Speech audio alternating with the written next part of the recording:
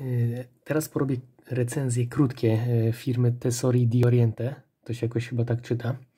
Zacznę od zapachu Thai Spa, ponieważ mnie zainteresował. Yy, Kupiłem, w sensie mama mnie poprosiła, żeby zamówić jakieś zapachy dla niej do pracy, żeby mogła się psikać. Są to zapachy bardzo tanie, bo tylko po 20 zł. Większość można dostać na Allegro bez problemu. E, charakteryzują się tym, że całkiem długo trzymają się. Mama sobie chwali. E, pamiętam, że jak wychodziła rano i potem wracała o 16, 17, to wciąż było czuć. Większość z tych, które będę recenzował, tak mają. E, Thai Spa przykuło moją uwagę, bo to jest zapach podobno unisex.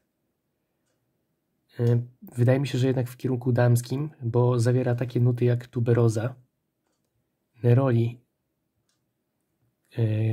słodką pomarańczę, mango, hibiskus, przyprawy, róże, paczule, nut, nuty drzewne i wanilię. Buteleczka jest naprawdę elegancka, to jest wyżłobione.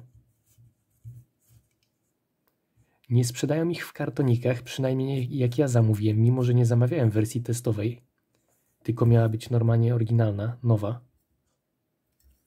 Mam nadzieję, że to nie jest z 2007.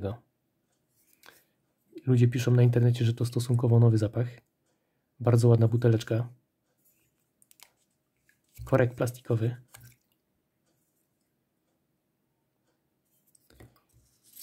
I już był korzystany, więc no, to jest zapach, raczej wszystkie te Tesori di Oriente, chyba że będzie typowo męski nastawiony, one są wszystkie damskie.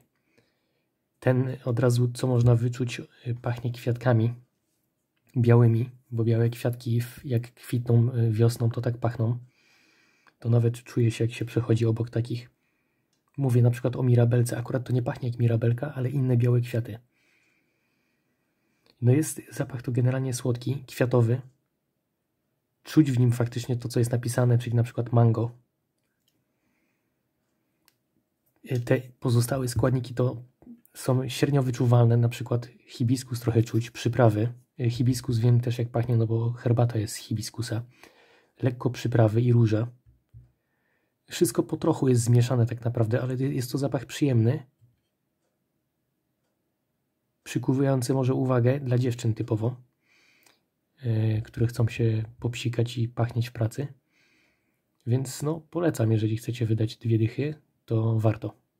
Dzięki za uwagę.